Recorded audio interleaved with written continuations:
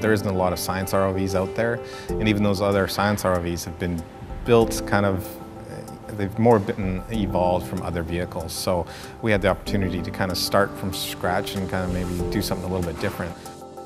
It's a challenge to start with a blank slate of paper and just start drawing a frame and, you know, seeing what comes out at the end. We started off with a concept design an ideal version of how they would want the vehicle to look. Slowly you kind of get to a design that you're happy with and that you can start developing in a little bit more detail and things start fitting in around it.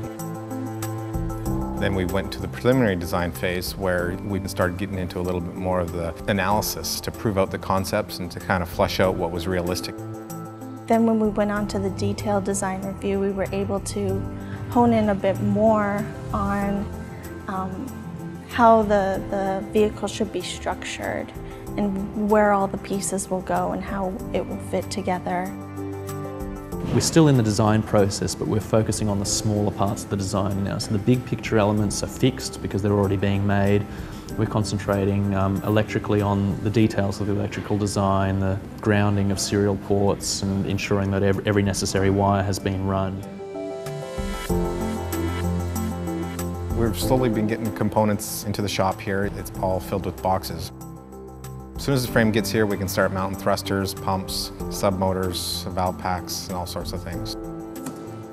In terms of parts, I've put in about 130 purchase orders. We've probably purchased about 5,000 different pieces.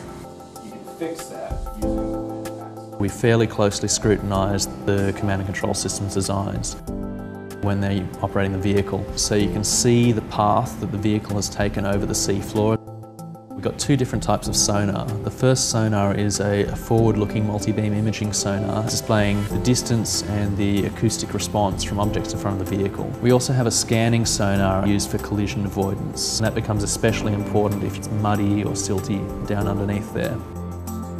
It also rolls in acoustic positioning from the surface. The inertial navigation system combines all of these sources of information to most accurately determine the vehicle position. When I get to see it all put together right in front of me, it'll really start to come together.